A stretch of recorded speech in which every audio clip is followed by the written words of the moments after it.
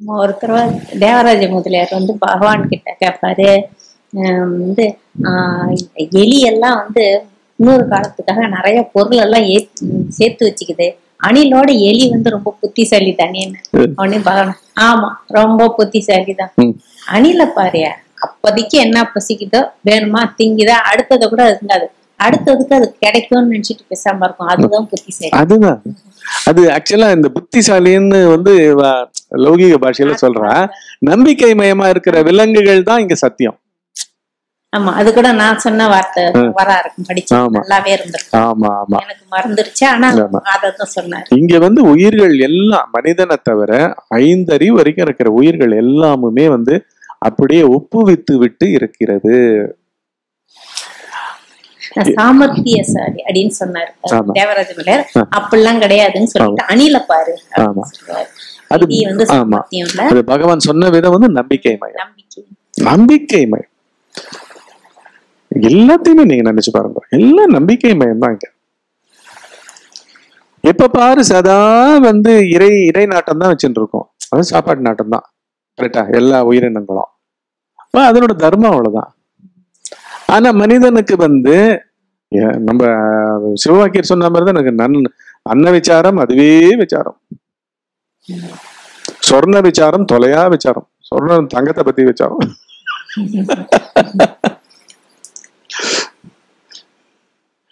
இப்பாவி நெஞ்சுக்கு என்ன விசாரம் வைத்தாய்? கட்சி ஏகம் என்றாரு இதுவா விசாரமா இருக்கணும்? அந்த எழுந்துக்கிற அந்த எண்ணங்கள் அந்த உணர்ச்சிகள்ல மையம் கொண்டு இருக்கிற அந்த நான் பாவத்தை என்னப்பா எப்ப பாரு இப்படி அதை பத்தி பாதுகாப்பு இதை பத்தி பாதுகாப்பு இதை பத்தி பயம் அதை பத்தி சந்தேகம். இதை தவிர உங்களுக்கு நீங்க ஒதுக்கிறதுக்கு வேற ஸ்டஃபே இல்லையே. அப்படின்னு ஒழிக்கிறதுக்கு தான் நம்ம அந்த காத்தால ஒரு மணி நேரம் இருக்க சொல்றோம். ஈவினிங் ஒரு மணி நேரம் முடியாத வாழ்க்கை இப்படி சொல்றோம் நீங்கெல்லாம் வந்து வாழ்க்கையே அப்படி ஆக்கிக்கணும். டுவெண்ட்டி ஃபோர் பை செவன் அப்படி ஆக்கிக்கணும். உணர்வு உணர்வு மயத்திலேயே இருக்கணும். சரணாகதி எப்படி பண்றதுன்னு தெரிஞ்சுக்கணுன்றது அவசியம் இல்லைம்மா. எது வந்தாலும் கொடுத்துட்டு இருக்குதுமா உன் குழந்தைக்கு நீ பிறந்தப்ப எது வந்தாலும் கொடுக்கணும்னு நினச்சிப்பியா இல்லையா?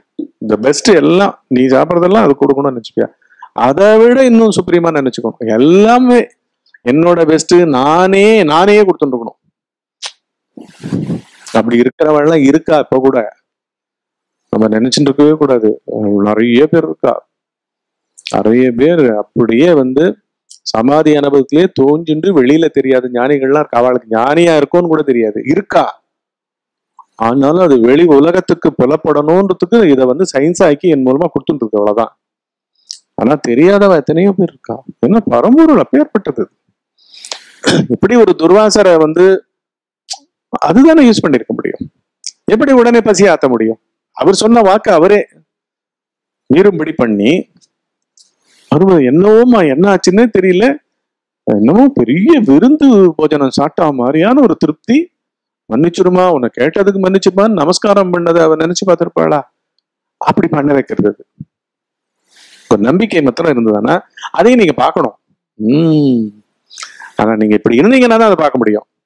அதுதான் வந்து அதுதான் அந்த மாதிரி வாழறதே.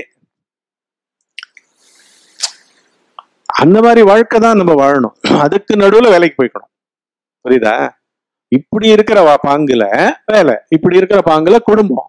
இப்படி இருக்கிற பாங்குல கணவன்.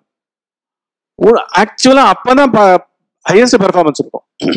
கரெக்டா அப்பதான் கணவருக்கே நல்லா பண்ண முடியும். அப்பதான் குழந்தைகளுக்கே நல்லா பண்ண முடியும். அப்பதான் அந்த ரோலே மெளிரும். நீங்க பெண்ணாகவோ மருமகளாகவோ தாயாகவோ சகோதரியாகவோ மனைவியாகவோ என்னவாவோ இருக்கீங்கல்ல எல்லாரோலும் மிளிரக்கூடிய இடம் வந்து உள்ளுக்குள்ள இருக்கிற உங்களுடைய தனித்த நான்பாவத்தை ஓயாம அந்த கரைச்சுட்டே இருக்கிறது உள்ள. எனக்கு இந்த தனி வீரியம் வேண்டாம் இந்த எண்ணத்துக்கு.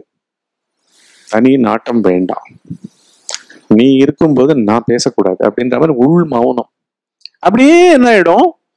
எல்லாம் அந்த அஞ்சு கோஷங்களும் வந்து ஸ்டில்லா இருக்கிறத நீங்க அனுபவிக்கணுமா இல்லையா? இதுதான் நன்னா சாப்பிடுறது.